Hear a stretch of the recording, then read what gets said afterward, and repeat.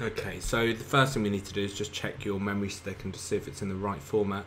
If you open it in Finder, you should see it in your bar on the left hand side there. If you select it and then go to your file menu and select get info, down the bottom there it should tell you whether you can read and write to it or not.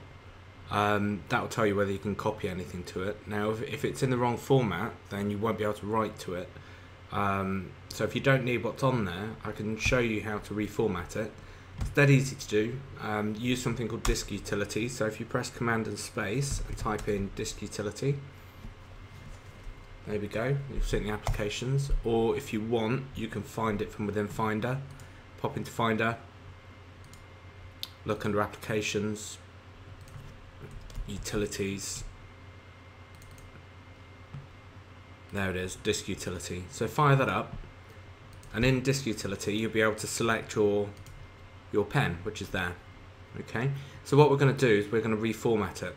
So select partition, change it from current to one, call it pen or whatever. Now the format is the important part. Change the format from Mac OS Extended, change it to MS DOS, that one. Okay. The other thing you've got to do is if you click on options here, make sure it's selected on the, MBR or the master boot record at the bottom.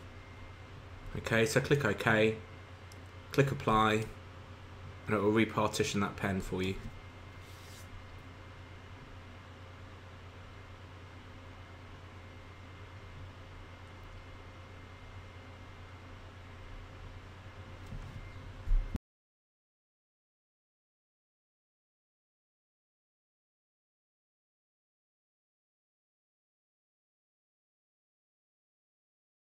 There we go, so it's done.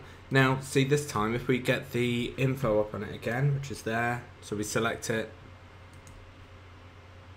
get info, you should see that you've got read and write permissions to it.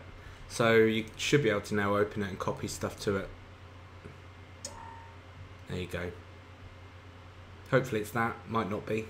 Um, if it isn't, select it, do the file get info and tell me what it says in there specifically around sharing and permissions. Uh, also around the format if you can tell me what the format is um, I'll be able to tell you whether it will work or not